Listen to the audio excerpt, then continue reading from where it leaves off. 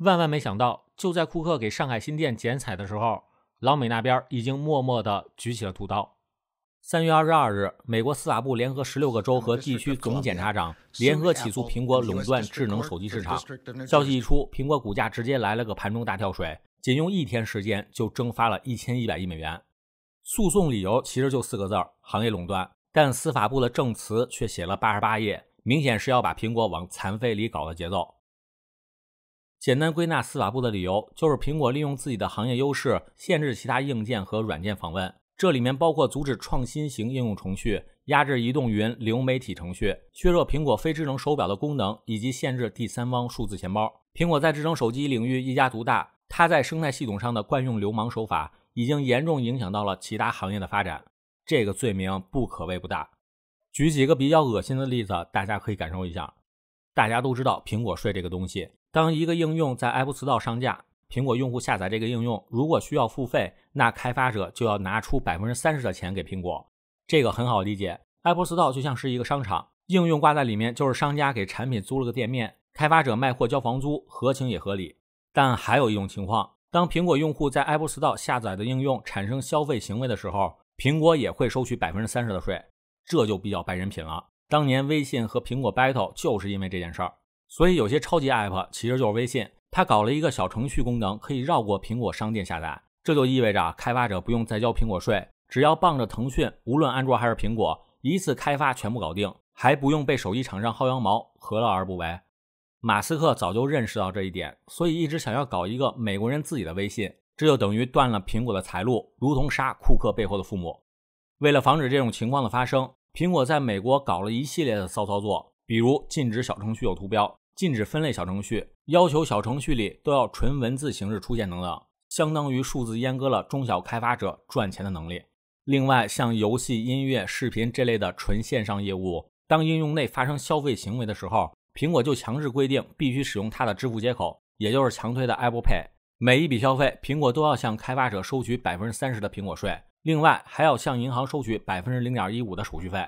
如果你不给钱，那你所有的应用也就别在 Apple Store 上架了。这就是苹果流氓的地方，所以也就不难理解为啥这次美国司法部要把苹果往残废里整。因为对于那些中小开发者来说，苹果就是美版的周扒皮，自己埋头苦干了好几年，结果上来就被库克这老小子撸走了三分之一，其他第三方支付平台也没办法去赚苹果用户的钱，行业心态自然就崩了。接下来等待苹果的可能是长达数年的反垄断官司，即便不分拆，也会被罚的怀疑人生。二零一二年，美国司法部就曾指控苹果和五大出版商联合抬高电子书价格，最后罚了四点五亿美金才勉强结案。这次美国司法部的动作显然要比之前大了好几倍，甚至可以对标一九九八年的微软反垄断案。如果不出意外，估计大家又要见证历史了。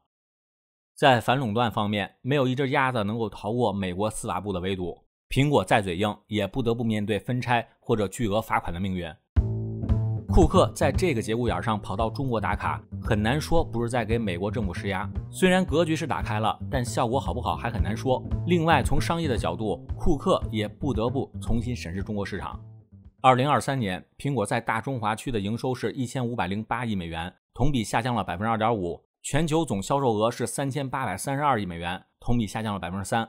今年的前六周，苹果在大中华区的手机销量同比下降了百分之二十四。市场占有率也从二零二三年的百分之十九下降到了百分之十五点七。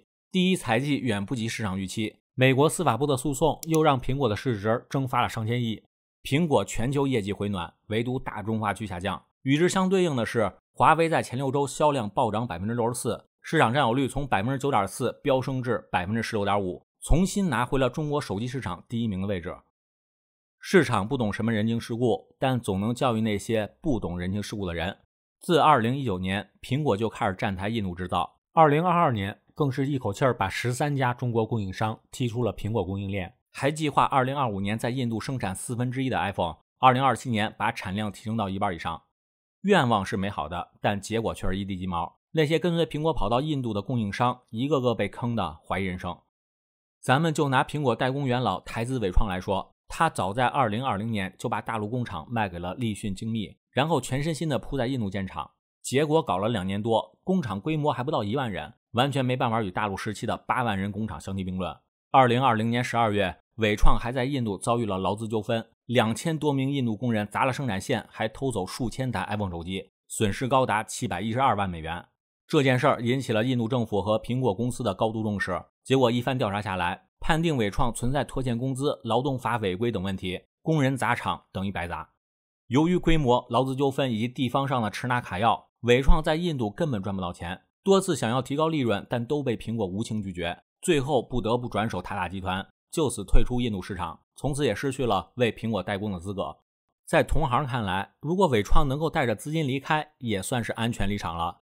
无独有偶，去年三月，郭台铭的弟弟郭台强在印度设立的电源工厂发生大火，十条生产线烧毁了四条。两件事对郭台铭的打击不小。富士康不仅缩减了印度的投资计划，还把工厂从七万人缩减到了五万，规模还不到郑州的六分之一。显然，郭老板也被外企的火葬场搞怕了。更尴尬的是，印吹吹了半天，实际上他们的手机组装业务只有百分之十到百分之十五的零件原料来自本土，其他大部分还是从中国进口。手机即便在印度组装，半成品还要运到中国做整机测试，就连生产手机外壳这么简单的事儿。良品率也只有一半左右，所以也就不难理解为啥苹果的态度来了个一百八十度急转。库克这次来上海，一是为了给亚洲第一、全球第二的新店站台，二是约见了比亚迪、蓝思科技这样的供应商大佬，大概率是为了 Vision Pro 的生产线铺路，当然也不排除未来在新能源汽车的生态系统上与比亚迪合作。库克在面对媒体时说的：“对于苹果的供应链来说，我觉得没有比中国更为重要的地方了。”事实也的确如此。虽然印度和东南亚的人工便宜，但在基础设施、产业链配套、物流条件上，完全没办法和中国做比较。一个放在中国能够赚钱的生意，放在印度就只能赔本赚吆喝。最后能不能带着现金安全离开，都要打上一个大大的问号。客观的讲，低端产业链向更低端的劳动市场转移是趋势，但企业的核心技术却没办法复制粘贴。